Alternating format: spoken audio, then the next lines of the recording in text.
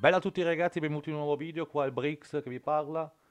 Volevo fare giusto giusto un video velocissimo per uh, dirvi un paio di cosette e farvi vedere che finalmente sono tornato 6000. Questa è una stagione che veramente è... Mamma mia, è veramente dura, non, non, riesco a trovare un mazzo decente per salire. Dopo vi faccio vedere con che mazzo sono salito e carino. Prima di iniziare vi ricordo di commentare, condividere e mettere un bel mi piace al video per darmi più supporto possibile. Io vorrei farvi notare una cosina che non so se molti di voi hanno visto, non so se molti di voi hanno notato, io mi sono chiesto il perché e ho detto ma vediamo di farci su un video. Nella nuova, diciamo, schermata d'avvio di Clash, prima di partire con uh, la classica schermata, viene fuori questa immagine il 10 con la candelina. Io lo giuro, inizialmente pensavo fosse per la stagione 10. Ho detto, ah, hanno iniziato a mettere le, le numerazioni delle stagioni, che carino, e... No, no, no, proprio che eh, hai cannato alla grande, non c'entra assolutamente niente, ma ni- non c'entra assolutamente niente. Quello che è in verità è una sola. Fra poco è il decimo anniversario della Supercell. Adesso vi faccio vedere quando è nata la Supercell. Siamo qua direttamente sul sito di Wikipedia, sotto la pagina della Supercell. Se voi fate caso, la Supercell, l'azienda finlandese, ha come data di fondazione il 2010. Quest'anno il 2020, quindi è il decimo anniversario, quindi non c'entra assolutamente niente con... Uh, uh, le stagioni o altro, perché alcuni mi chiedevano, ah ma avete visto cos'è, cosa serve o non serve? Ragazzi, semplicissimo, è il decimo anniversario della Supercell. Se noi vediamo bene bene, adesso a memoria, il, uh, il giorno preciso dovrebbe essere indicativamente intorno a maggio Ecco, se voi vedete, la fondazione Supercell è nata il 14 maggio del 2010.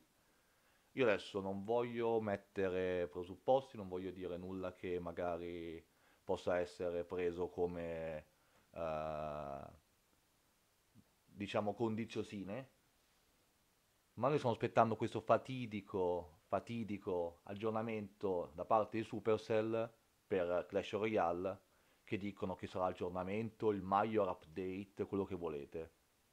Questo Major Update io, io so con certezza che comunque questa è una certezza che abbiamo tutti. A fine season, ogni fine season, la Supercell rilascia il, uh, il bilanciamento delle carte più diciamo il reset delle coppe e questo qua quest'anno, questo mese succederà esattamente fra 10 giorni a partire da oggi, a partire da questo video.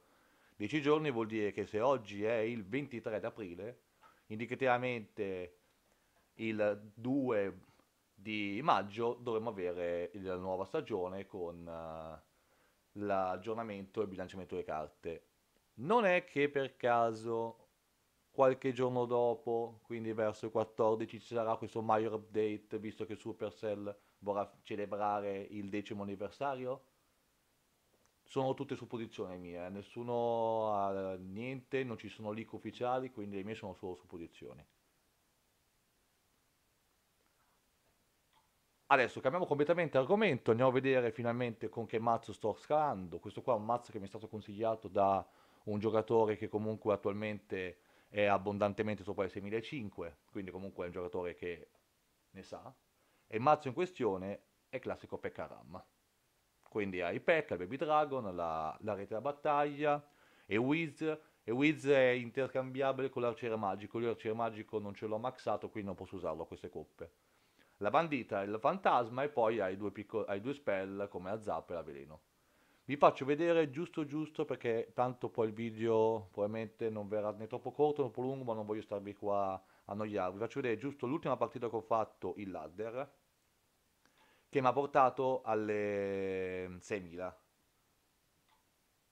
L'ultima partita che ho fatto è questa. Ero contro TMD Ivortex. Vediamo insieme un secondino. Ah, ero proprio, ero tipo a 5.980, non del genere, poi controlliamo bene. Quindi iniziamo a darci good luck a vicenda, va bene, io sono qua, aspetto. Di solito questi qua sono mazzi che aspetti quando hai una, mazzo, una mano così. Non fa niente, vado di fantasma. Lui si difende con il bandito. Quando ho visto bandito ho detto, ecco bene, abbiamo trovato contro uno spell deck, un uh, uguale identico, un mirror deck. Ero convintissimo, ho detto, è un mirror deck, c'ha bandito, c'ha baby dragon, adesso mi lancia, mi lancia pure probabilmente io non lo vedo in alto, le Wiz, ho detto perfetto, abbiamo lo stesso, lo stesso identico deck. La differenza però che c'è fra il mio e il suo è che lui punta quasi tutto attacco con eh, il, eh, il, eh, il, ciclo del miner. Io invece devo andare all'attacco con il battle ram. Qua non so come difendermi, detto vabbè, piazzo il peccone davanti, mi butta via, probabilmente mi pulisce abbastanza bene la lane, mi rimane anche con un po' di vita, non so neanche come ho fatto ad avere un po' di vita. Ho detto, beh, piano piano, adesso ripartiamo, vediamo. Prova a dargli un po' di value. Mettiamo dietro questo Baby Dragon. E probabilmente provo ad andare direttamente col Battle Ram. Sì, perché qua volevo andare un po' cattivo, c'era il P.E.K.K.A che mi dava un po' di supporto. E riesce a colpire la torre. Adesso sono bei, bei problemi. Decido di difendermi in primis con l'Electro Wizard e poi metto il fantasma dietro sul suo Wiz perché devo tirarlo giù. Qui sono danni enormi, ho preso una caterva di danni. E lui è leggermente anche in vantaggio di Sir. Questa cioè, non era partita proprio bene. Qui canna completamente il posizionamento del, del miner perché mi ha lasciato fare una marea di danni. Io riesco a farmi beccare solo un colpo dal miner e probabilmente la dashata non viene. Io qua ho giocato una poison perché sapevo che mettevo qualcosa. Devo sperare che quel Wiz cada e io mi difendo con il Pekka, Pekka contro Pekka logicamente. E Wiz mio da dietro. Qua probabilmente riparto subitissimo all'attacco.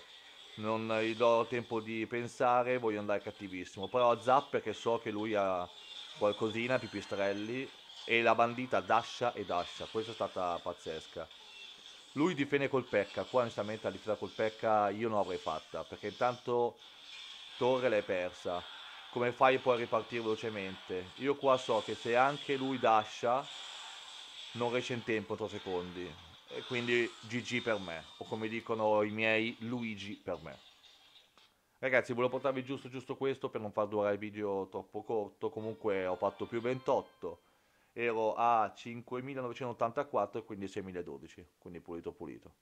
Io direi che per questo video è tutto ragazzi vi ricordo di lasciare qualsiasi tipo di commento per uh, aiutarmi e per uh, far crescere il canale. Detto questo vi ringrazio ancora una volta alla prossima. Bella